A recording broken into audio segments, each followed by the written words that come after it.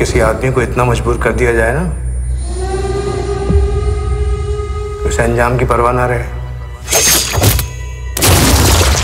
ऐसे ही मामूली लोग आगे चल के बाहुबली बनते हैं।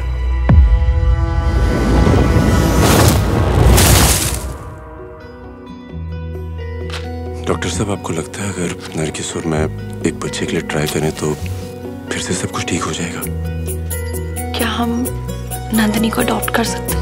आप ही रब आप ईमान बन गए।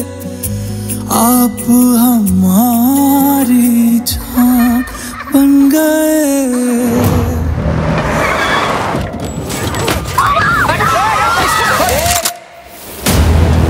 आज दोपहर लखनऊ के एक स्कूल के सामने से दो बच्चियाँ अगवा कर ली गई। अजीब बात है।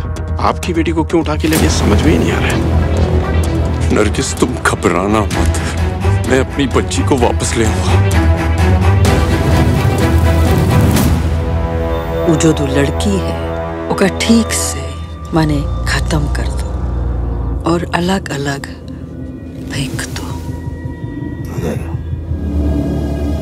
इससे अच्छा मौका ना हमें मिलेगा। अब तुम्हें खुश जाओ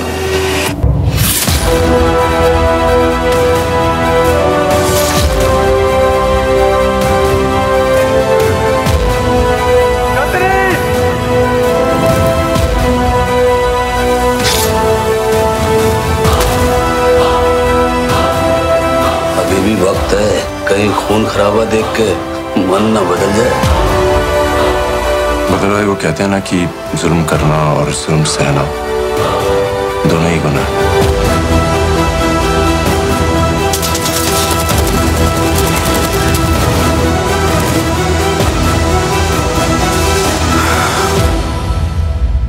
मुझे मेरी बेटी चाहिए